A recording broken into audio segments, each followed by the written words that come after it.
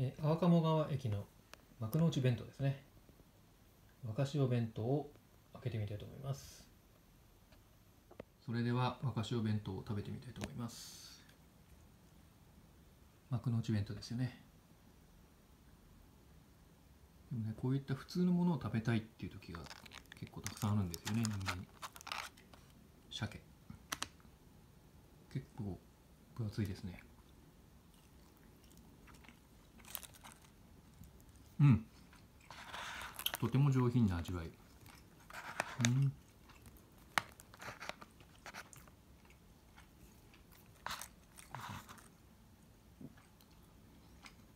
うん。美味しいですね。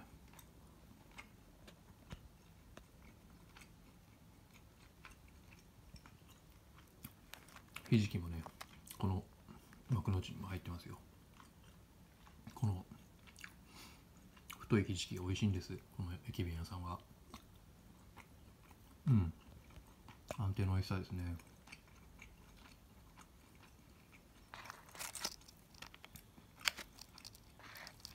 鶏の唐揚げ。幕の内弁当らしいです。うん。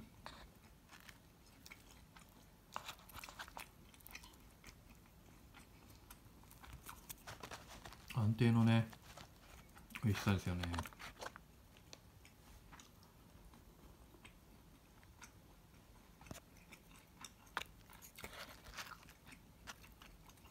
練り物が入ってるのも嬉しいよね。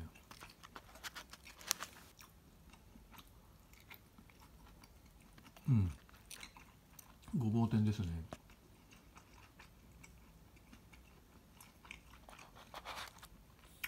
卵焼き。焼き色がねきちんと入ってます。手作り。そういう感じがしますね。うん。美味しい。若干甘めでね。みんなが大好きな卵焼きの味がしますね。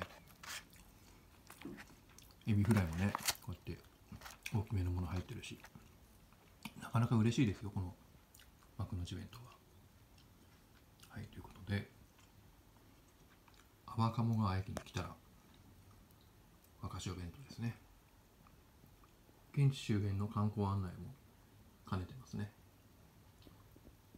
鴨川シーワールドでねシャチのショーなんかが有名ですからここに行った帰りに買って帰るっていうのもいいかもしれませんね